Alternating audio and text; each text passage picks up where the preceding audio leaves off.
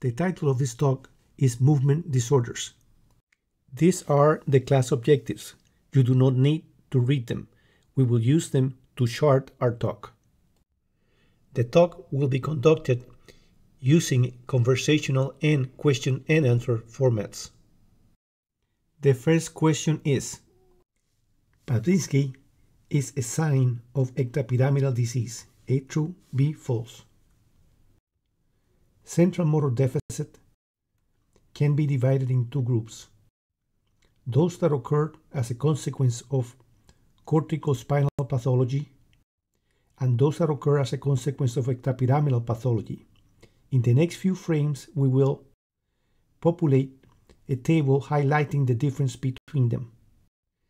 We will start by considering the character of alteration of muscle tone. In patients with corticospinal tract pathology, we find a spasticity manifested by the clasp knife effect. For those of you that may have never seen one, this is a clasp knife. They are hard to push down, but once you apply enough pressure, the blade quickly goes down. This type of resistance to passive movement of a patient's limbs is what we refer to as spasticity. In patients with extrapyramidal pathology, muscle tone findings are different. In the first form, the patient either present with equal resistance while passive movements are being tested. This type of resistance is referred to as plastic resistance or rigidity, or more colloquially referred to as lead pipe resistance. This latter term is used because apparently pressure needed to bend a lead pipe needed to be continuous in order to bend it.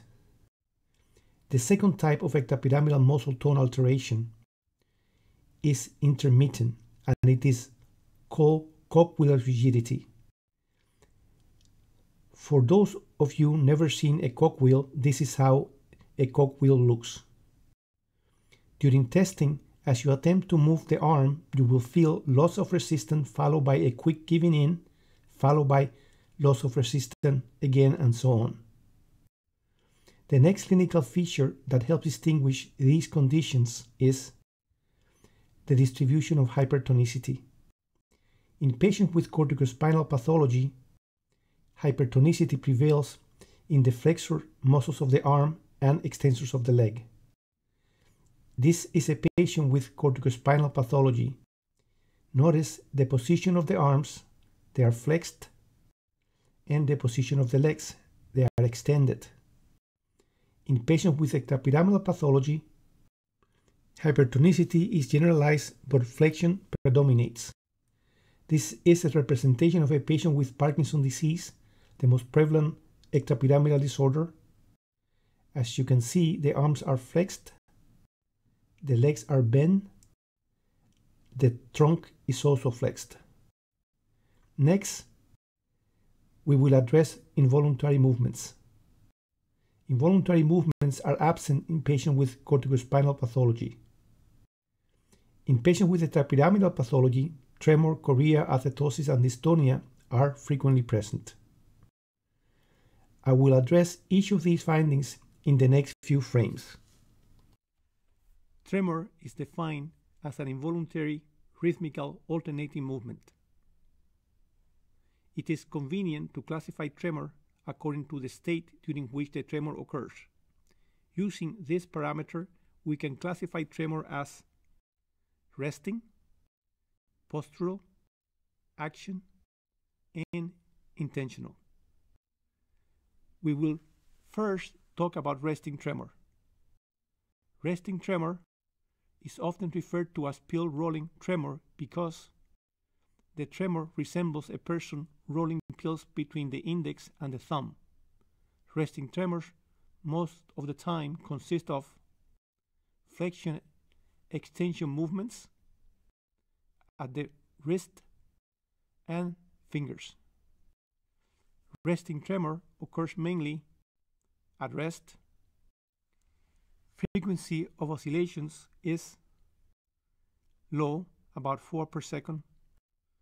the degree of excursion or displacement of the body part involved in the tremor is moderate. The location most often involved are the limbs. Resting tremor is most often encountered in patients with Parkinson disease. Postural tremor. Postural tremor is present while maintaining a position. It is a high frequency tremor, usually 8 Hz or above. The degree of excursion of movement is small. It most often involves the limbs and is found in essential tremor, a familiar condition, and in hyperthyroidism, among other conditions. After postural tremor, we will talk about action tremor. Action tremor is worsened by or only present during movement. It is high frequency, excursion of the body part involved is small. Location most often involved are the limbs. This tremor usually occurs in conjunction with postural tremor in essential tremor, the condition we previously mentioned.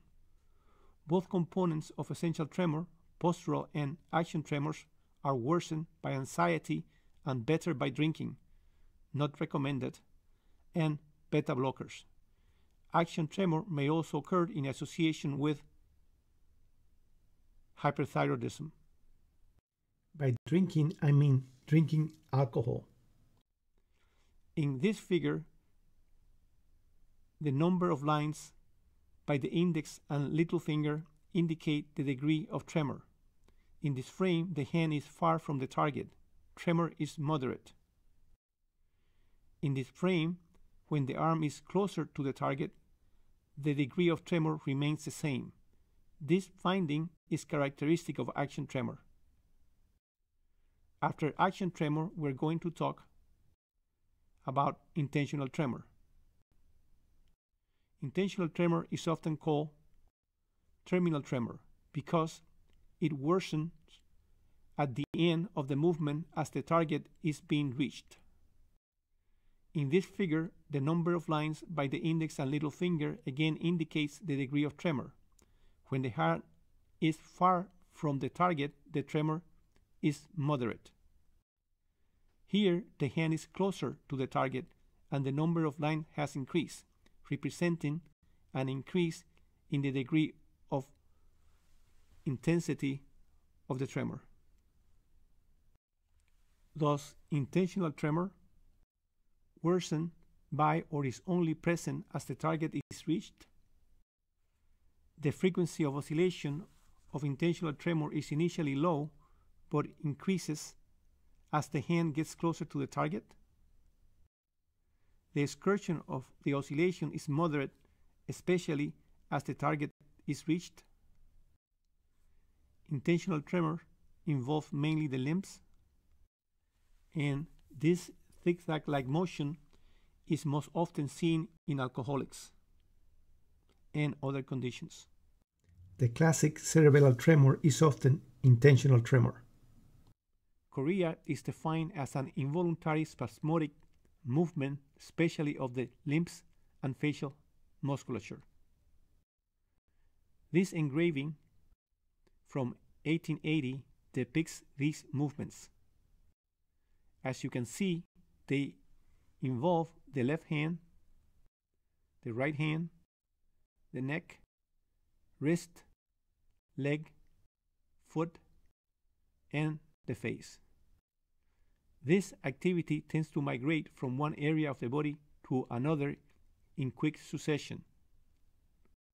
Chorea was frequently encountered in Sydenham's chorea when rheumatic fever was frequent, and currently, when we see it, not often, we see it in patients with Huntington chorea.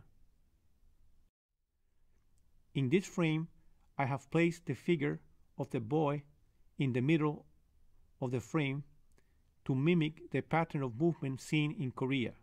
Notice as the frames move, the changing posture in your screen. So you can appreciate why chorea was called a dance. Now I have added a painting of San Vito. San Vito is the Catholic patron saint of artists and dancers. It was because of these two points one, that the dystonia looks like a dance, and two, because the patron saint of dancer is called Saint Vito, that chorea was named Saint Vito's dance. In Germany, in the 13th century, an epidemic of St. Vito's dance occurred. This event inspired Peter Bruegel the Younger to paint this theme.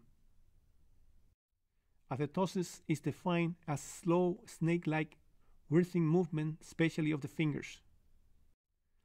As you can see depicted in this frame. In this condition, the hand takes many different and unusual positions, as the one here with fingers extended, here with the thumb contracted, and here with extension of some fingers and flexion of others. Dystonia is defined as an involuntary contraction of agonist and antagonist muscles leading to a position of extreme flexion or extension. Dystonia can be generalized or focal. Generalized dystonia can be an impressive condition involving the hands, shoulders, neck, and also the lower extremities. Focal dystonia can selectively involve the limbs or the face. Limb involvement is rather common. The most frequent type of focal limb dystonia affects the hand. Dystonia of the hand is often the first sign of extrapyramidal disease. In the face, dystonia is less frequent. This patient had a rare condition called Schwartz-Jampel syndrome. These patients suffer from muscle rigidity, but in addition, they have episode of eyelid dystonia. Eyelid dystonia is called blepharospasms. Next, we will address tendon reflexes. They are increased in corticospinal pathology and normal or slightly increased in patients with extrapyramidal pathology. Babinski sign is present in patients with corticospinal pathology, absent in patients with extrapyramidal pathology. Inability to voluntarily generate movements occurs in patients with corticospinal pathology, but is absent or only minimal in patients with extrapyramidal pathology. So the answer to this question is B. Next question. Parkinsonism and Parkinson disease are the same. A true, B false. Parkinsonism usually refers to a combination of akinesia or bradykinesia, rigidity, and tremors. In the presence of such findings, we must consider three types of conditions Parkinson disease, secondary Parkinsonism, and Parkinson disease mimickers. The reason we must consider these conditions is that they have different treatments. So the answer to this question is false. Next question. Knowledge of anatomy and neurophysiology is needed to understand Parkinson's disease. A true, B false. To understand Parkinson's disease, we must have reasonable knowledge of three neurological elements concerning structures, connections, and pathways of the extrapyramidal system. We will first consider extrapyramidal related structures. In this frame, I have placed a view of the left hemisphere. The white line here indicates the line of dissection corresponding to this view this view. Seven movement important structures. Structure number one. I have now added a figure representing the thalamus. You can recognize it as being the thalamus by the geniculi. The arrow just introduced in the cut specimen points to the thalamus, which I have just traced. And I have represented it here. The VA and VL inside the rectangle stand for ventroanterior and ventrolateral nuclei. I intend to populate this figure by adding all the structures as I introduce them. I will later use this figure to explain the connections and pathways that are important to understand Parkinson's disease. I will refer to this figure as the basic figure throughout the course of this talk. This figure will get very busy as you will see soon. The second structure I will introduce as a yellow structure is the globus pallidus, the final output nucleus of the basal ganglia. The arrow I have just added indicates to the left and now to the right globus pallidus. Notice that the globus pallidus has two parts. The pars externa and the pars interna. Hence, I will add the globus pallidus in the basic figure as two yellow structures, one representing the external, which I have labeled GPE, and the second one, the internal segment of the globus pallidus, which I have labeled GPI.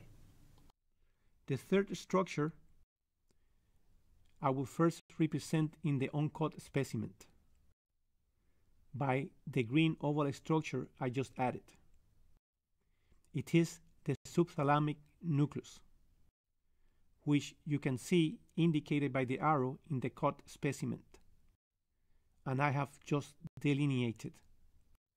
The thalamus is above it, hence the name subthalamic nucleus. Here I am pointing to the right subthalamic nucleus, which I have just traced. So, to the basic figure, I will add the subthalamic nucleus as a green rectangle. The fourth structure I will mention to you, which I am now schematizing in the uncut specimen, is the substantia nigra, which I am now indicating in the cut specimen on the left, and now on the right. This is an specimen of a, a midbrain the substantia nigra is normal. Here I am pointing to the pars compacta, which I have delineated in the opposite side.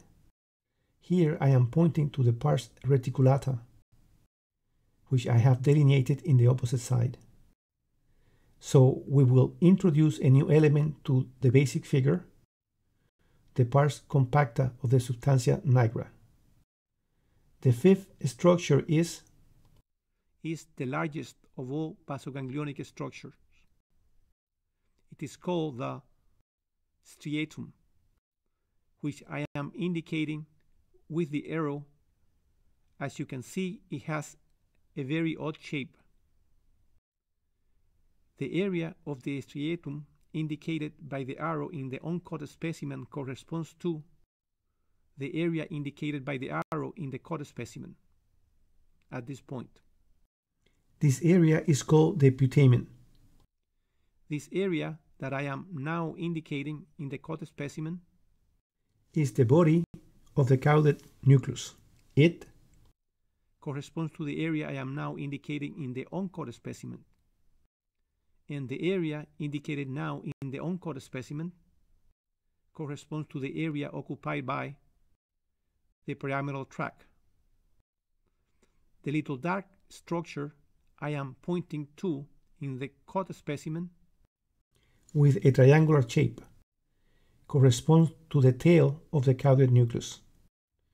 So to the basic figure we will add the striatum with an odd shape reflecting the shape of the real structure. The sixth structure is the pedunculopontine nuclei or pedunculopontine tegmentum nucleus which I have indicated here in the uncut specimen and here in the cut specimen. So to the basic figure we will add as a light green rectangle the pedunculopontine nucleus. The seventh structure is the cerebral cortex. The cerebral cortex involved with movement, mainly in the frontal cortex, is the one represented here. So we have introduced the structures. Now we will talk about connections. There are many connections among the structures we have just named. I will tell you about 11 connections that are important to our narrative. The order I will introduce them to you is the one I found more helpful to understand how they are affected in Parkinson's disease and other conditions associated with extrapyramidal deficit. The first one I will mention goes from the thalamus to the cortex. This is an excitatory connection. Glutamate, the correct amount of it, keeps movement smooth. The second connection goes from the internal segment of the globus pallidus to the ventrolateral nucleus and ventral anterior nucleus of the thalamus. This is an inhibitory connection. The third connection also goes from the internal segment of the globus pallidus but to the pedunculopontine tegmentum nucleus. The balance function of this nucleus is also important for movement to be smooth. The fourth connection goes from the external segment of the globus pallidus to its internal segment. This is an inhibitory connection that uses GABA. The fifth connection goes from the subthalamus nucleus to the internal segment of the globus pallidus. This is an excitatory connection. The sixth connection goes from the striatum to the internal segment of the globus pallidus. This is an inhibitory connection. The seventh connection goes from the external segment of the globus pallidus to the subthalamic nucleus. This is an inhibitory connection. The eighth connection goes from the striatum to the external segment of the globus pallidus. This is an inhibitory connection. The ninth connection goes from the cerebral cortex to the striatum. This is an excitatory connection. The tenth connection goes from the substantia nigra pars compacta to the striatum. This is an inhibitory connection mediated by dopamine 2. The eleventh connection goes also from the pars compacta of the substantia nigra to the striatum. This is an excitatory connection mediated by dopamine 1. It is important to notice this little asterisk I have just added because a prior hypothesis to explain Parkinson's disease considered the internal segment of the globus pallidus and pars reticulata of the substantia nigra as one functional entity.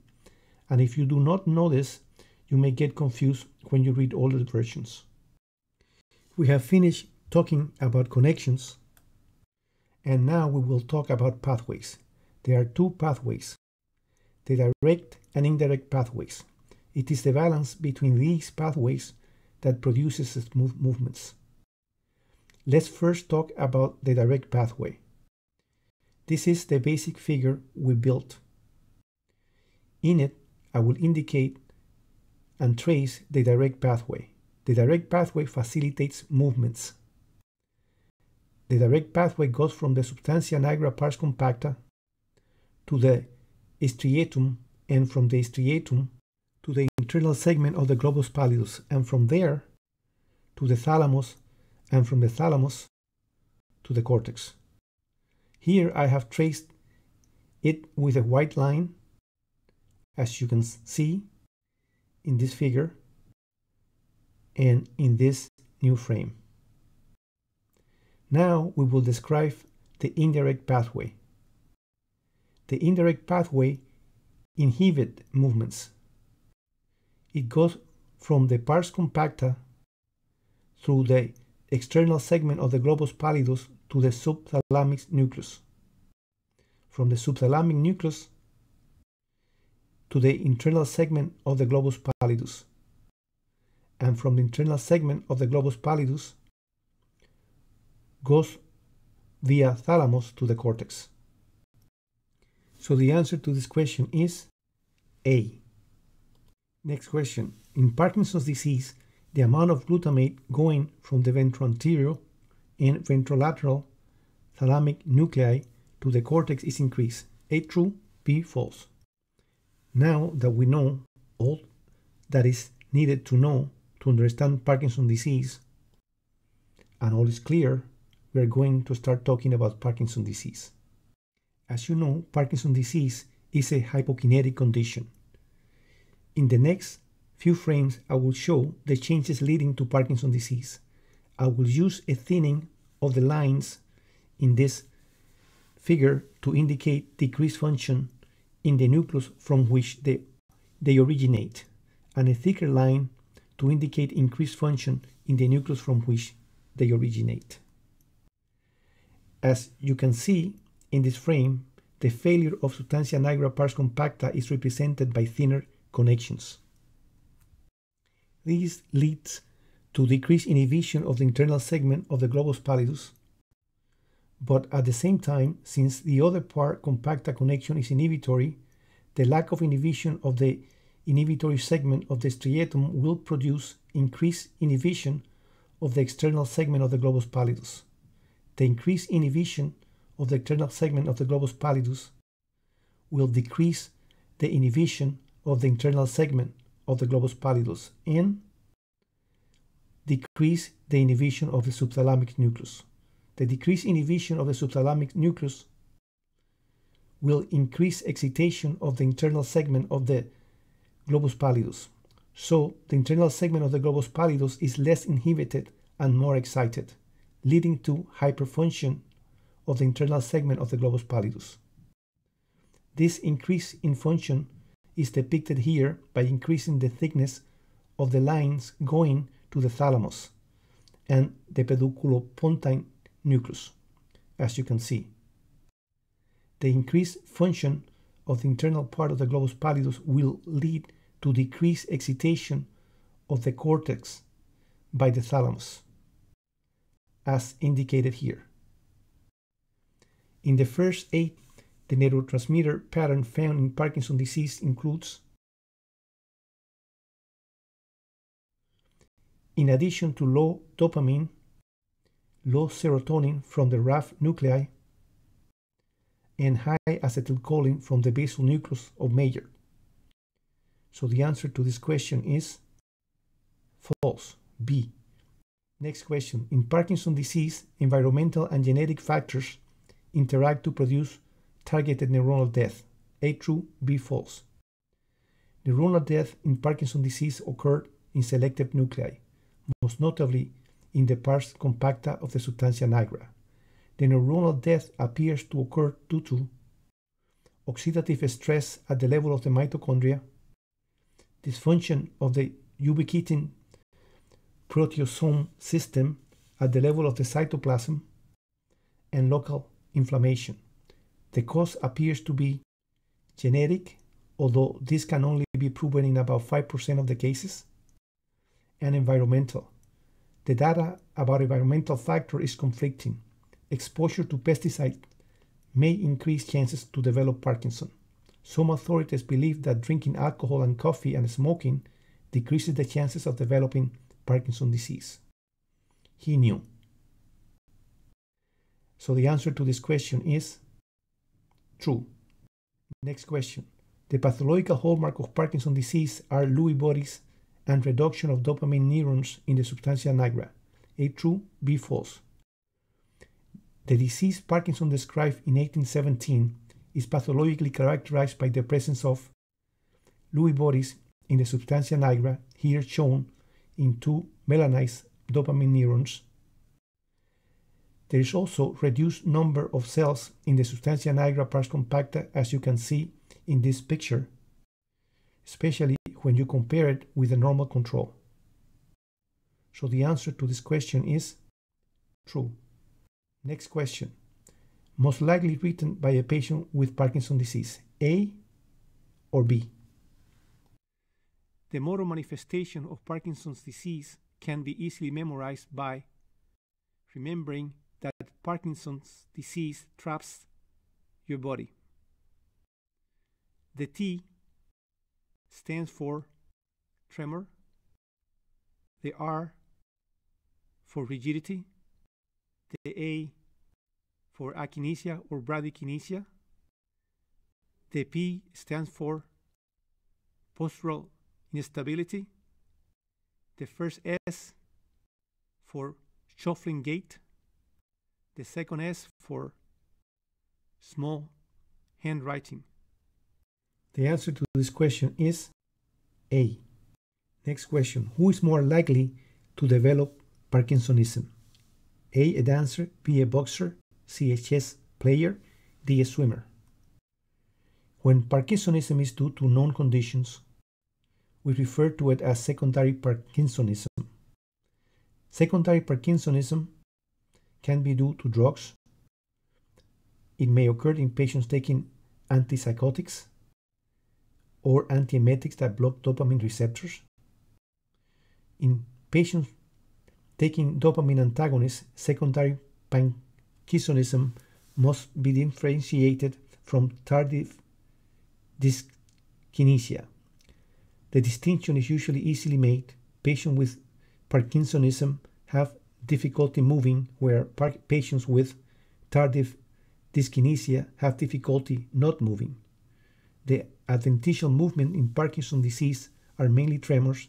The adventitious movement in tardive dyskinesia consists of smooth limb and trunk movements, usually occurring in conjunction with tongue protrusion and rolling, lip sucking and smacking, jaw chewing, facial muscle twitching. The diagnosis of tardive dyskinesia can only be made if movements last for over one month after medication is stopped. Secondary Parkinsonism can occur in patients taking valproic. I will tell you about two children I saw that did. This is an article of two patients we saw that while on valproic acid for seizures develop tremor suggestive of Parkinsonism and dementia. The interesting thing about them was the MRI. This is the MRI of one of them while on medication. Notice the size of the ventricles and sulci. And this is 12 months after valproic was stopped. Notice the ventricle and sulci are now normal. Hence, it is important in patients with drug-induced Parkinsonism to stop medication soon before changes become irreversible. Secondary Parkinsonism can also occur in boxers. This is Muhammad Ali when young, here when old. See the facial expression. The term mask face has been used to describe it. Small vessel disease can also produce secondary Parkinsonism. This is an MRI of a patient with secondary Parkinsonism showing large number of little infarcts in the basoganglionic area. Patients with this condition, in addition to Parkinsonism, usually display other signs of CNS abnormalities. And last but not least, infections. Some patients afflicted by prion disease and HIV or after viral encephalitis may develop Parkinsonism. So the answer to this question is B, boxer. Next question. Which of the following conditions may mimic Parkinson? A. Multiple system atrophy. B. Progressive supranuclear palsy. C. Corticobasal ganglionic degeneration. D. All of the above. The third group of diseases we must consider in patients presenting with Parkinsonism are Parkinson disease mimickers.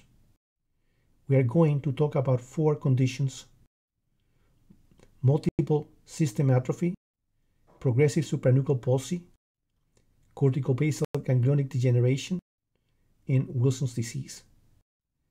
So the answer to this question is D. Next question. Which of the following structures is less likely to be involved in multiple system atrophy? Dash P. A. Substantia nigra. B. striatum. C. Autonomic neurons. D. cerebellum. The first condition we will address is multiple system atrophy mimicking Parkinson's.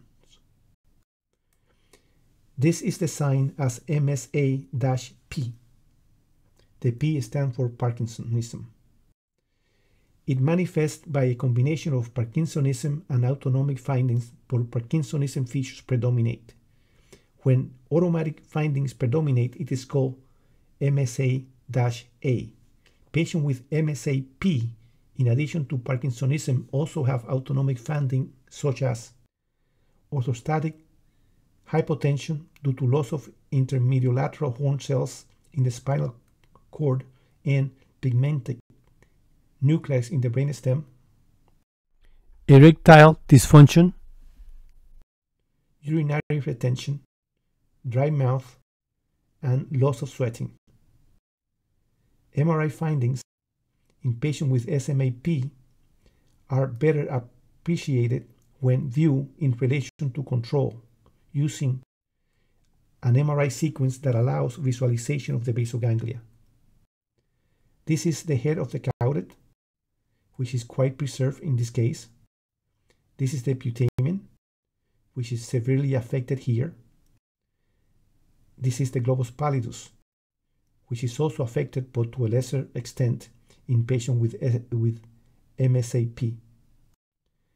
The pathophysiology of multiple system atrophy is readily understood if we consider the steps leading to MSA.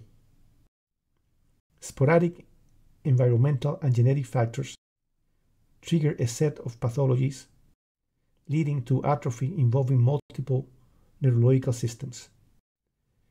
One of these steps is the deposition of synuclein. The deposition of this substance produces inclusion bodies that can be found in the bodies of glia cells, in neuron cytoplasm, and in neuronal nucleus. So the answer to this question is D. Next question. Progressive supranuclear palsy is characterized by gait disturbance and inability to look up or down. A true, B false. Another condition that may mimic Parkinson disease is progressive supranuclear palsy. The initial symptoms are usually on a steady gait and axial dystonia. Then comes supranuclear ophthalmoplegia. Initially, vertical movements are affected. First, it is hard to look down, later, it is hard to look up, then it becomes impossible to look up or down. This is followed by involvement of voluntary lateral eye movements. This is the stage that defines the condition. Although initially fixation mediated movements and doll eye movements while on a fixed target are preserved, they may also go and the eye becomes fixed in primary position. It is at this stage that the patients with PSP develop signs of cerebral palsy. This is a set of pictures drawn by Jean Martin Charcot of patients that appeared from the description he gave that met the current criteria for the diagnosis of PSP. The facial expression is often described as one of continuous amazement or surprise. They often develop vertical wrinkles in the glabellar region and breaches of the nose. This is called the Procerus sign. I will now show you a set of facial photographs of patients with this condition so you can appreciate the extent of facial changes they incurred. Here you can see Procerus sign or vertical wrinkling of the forehead. The surprised look, the anxious look brought about by chin dystonia, and the mask faces. MRI findings are characteristic but not pathognomonic. They reflect atrophy and sparing of different midbrain structures, as will be apparent when talking about the pathological changes encountered in these patients. The MRI findings have been associated to different animals. You can see in this MRI the penguin sign as reflected here. In this one, the hummingbird sign as reflected here and in this one the Mickey Mouse sign as depicted here. The pathological changes found in these patients, as we previously mentioned, explain the MRI appearance. In this specimen, all the dark areas represent damage. The damage mainly involves the midbrain tegmentum with a sparing of the tectum and the peduncles. The aqueduct of Sylvius is enlarged. Please view this video by either going to Clinical Movement Disorder course page if available to you or going to the article stated below. So the answer to this question is true. Next question. A patient presented with findings of an alien hand is likely to have A. Multisystem atrophy, B. Progressive supranuclear palsy, C. Corticobasal gang ganglionic degeneration, D. Spastic monoparesis. Among the conditions mimicking Parkinson's disease, corticobasal ganglionic degeneration, in my opinion, is the most tragic. The clinical manifestation of corticobasal ganglionic degeneration consists of progressive asymmetrical extrapyramidal rigidity, usually manifest as an asymmetrical clumsy limb that, when affecting the arm, has been called an alien hand. A unilateral akinetic rigid syndrome is also often seen in this condition. To the sign of extrapyramidal disease, signs of cortical spinal disease often follows. Then vertical gaze limitation comes in, frontal lobe release signs appear, and dementia establishes itself. Go to this YouTube video and see how dramatic this condition can be. The pathology of corticobasal ganglionic degeneration consists of asymmetrical cerebral atrophy. Notice that the left hemisphere is smaller than the right. In this specimen, you can see atrophy of the head of the caudate. In this new section of the midbrain and pons, you can see the pigmentation of the substantia nigra and of the locus ceruleus. Histologically, in this condition, you can find balloon neurons using H&E as the one you see in this frame, or when you use anti-alpha beta crystallin antibody stains, the neurons also look like a balloon. In addition, we also find diffuse tau deposits in neurons. So the answer to this question is C. Next question. Copper transporting ATPase 2 is important to transport copper from the intestine to the portal system. A true, B false. This is a representation of the portal system. I will use it to explain copper metabolism. Copper is normally ingested with different food sources. From the intestine cells, with the help of copper transporting ATP ACE1, a protein produced by a gene called ATPA, copper enters in the portal circulation and it is delivered to the liver. In the liver, with the help of copper transporting ATPase2, a protein produced by a gene called ATP7B is either sent to the general circulation or excreted in the bile. I would explain this in more details in the next few frames. The gene that produces copper transporting ATPase1 is located in the X chromosome at the Q21.1 locus. Copper transporting ATPase1 is not only present in the enterocyte but also in many other cells, but not in hepatocytes. This enzyme, in the presence of a low or normal copper level, transport copper to the Golgi apparatus, where copper is incorporated to other proteins or serve as a cofactor for certain enzymes, including dopamine beta hydroxylase. This enzyme copper transporting ATPase 1 in the presence of high copper levels behave differently. Copper transporting ATPase 1 in the enterocyte when confronted with too much copper moves away from the Golgi and helps to dispose of excessive copper in the stools. So that is a story of ATP7A gene. Now let's tell the story of ATP7B gene. This gene is located in chromosome 13 at locus Q 14.3. It is present in the liver. In the hepatocyte, it is used for the production of many enzymes and also to form ceruloplasmin, the most important copper transporting protein in the body.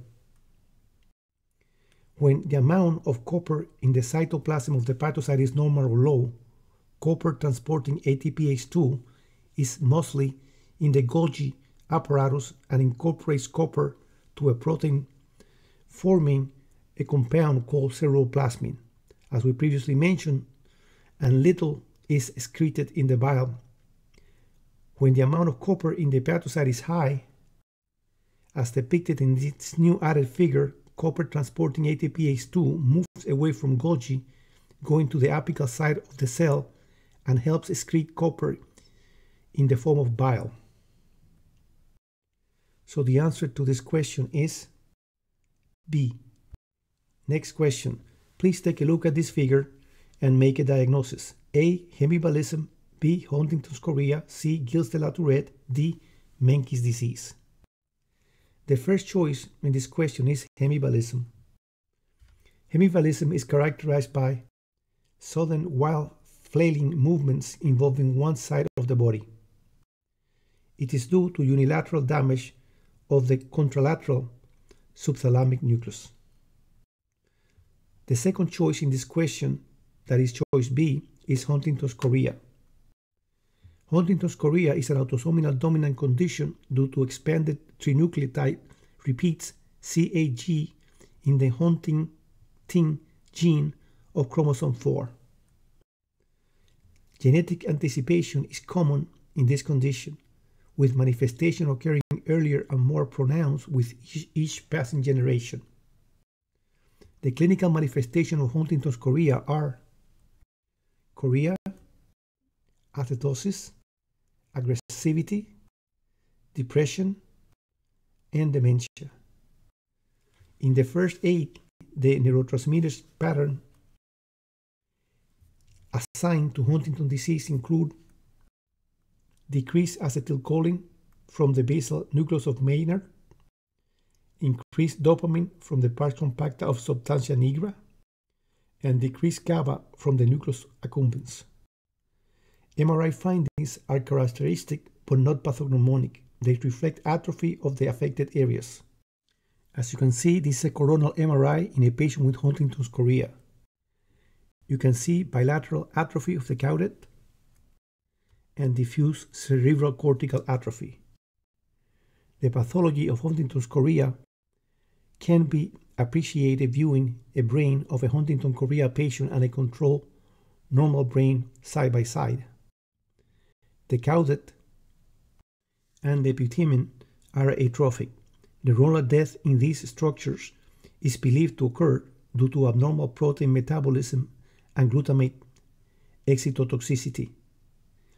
Continuous glutamate and MDA receptor stimulation produces sustained opening of the NMDA channels, leading to intracellular calcium overload and contributing to cell death.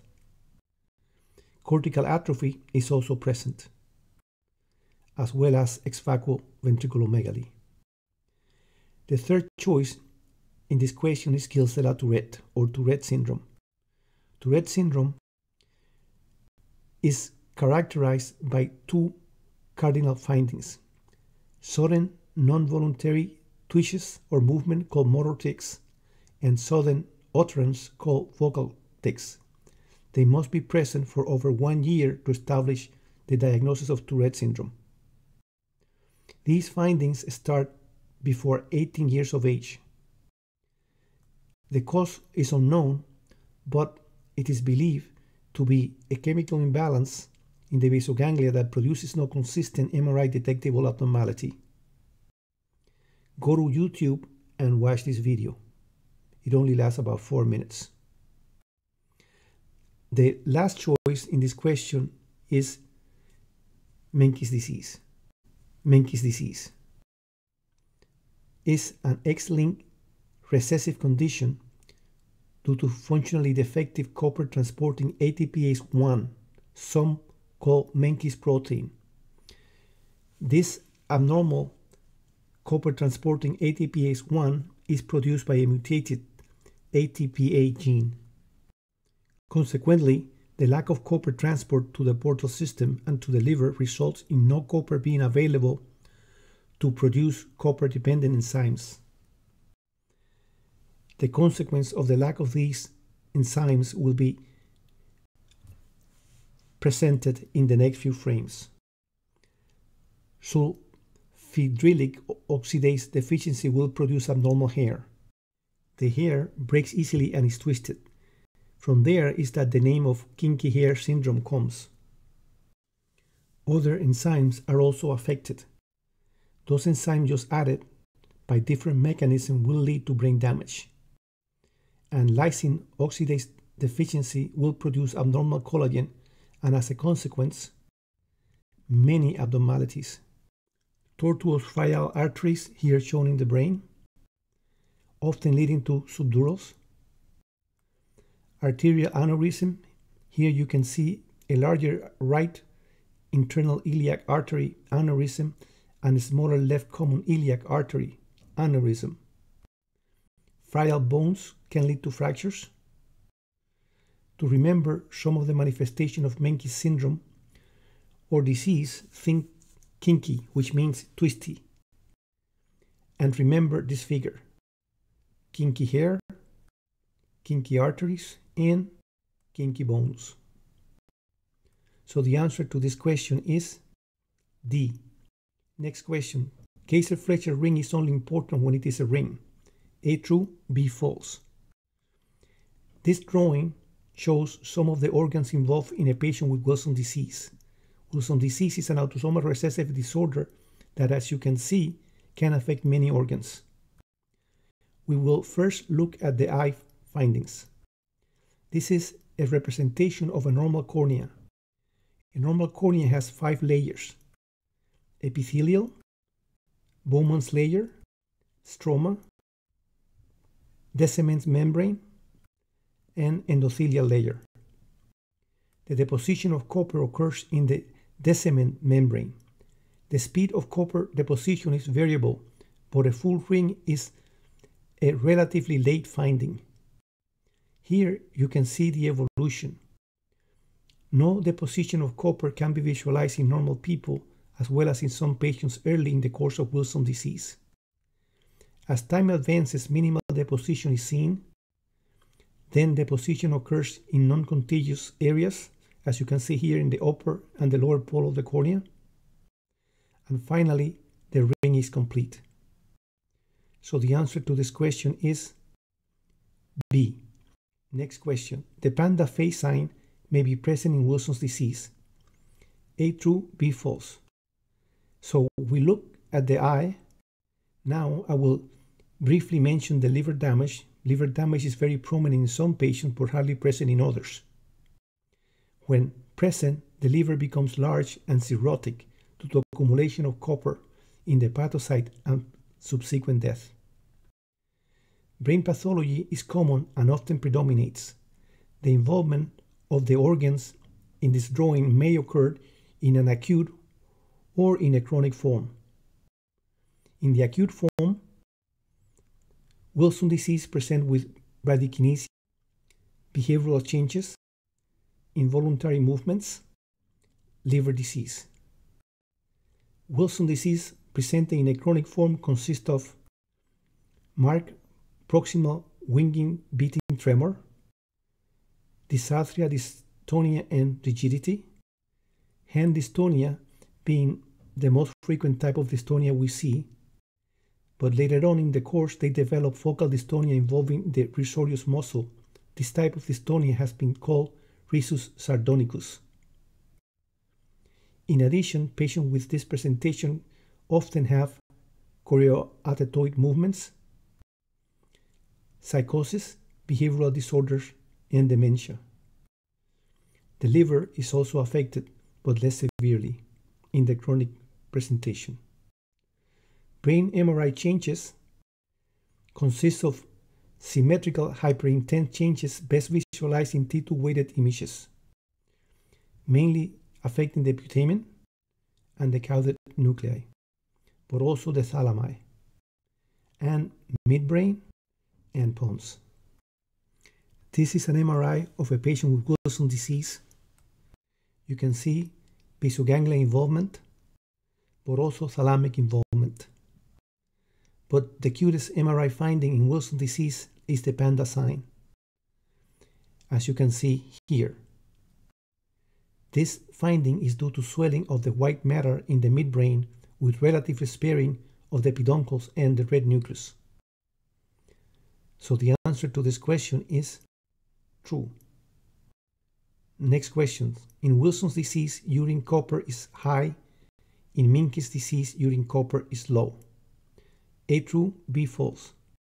When Mr. Copper is jailed in the enterocyte, Menkes disease happens.